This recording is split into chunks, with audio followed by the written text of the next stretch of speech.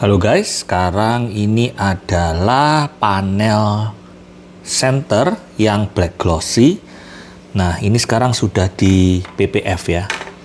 Jadi untuk mengurangi goresan-goresan, um, kita sekarang akan pasang di mobil.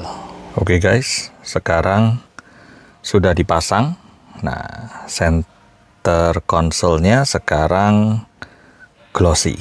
Ya, mantap. Jadi sama dengan senada dengan bagian transmisinya. Oke. Okay?